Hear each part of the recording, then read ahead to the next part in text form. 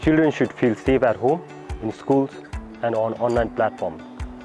But it is these places where the most violence against children happens. This violence can take many different forms. Bullying, corporal punishment, attacks on school, sexual harassment, and cyberbullying. They all have a devastating effect on the children, their families, and communities. Bhutan Football Federation stands with UNICEF Bhutan to end violence against children from the home of happiness. Together, we can end violence against children.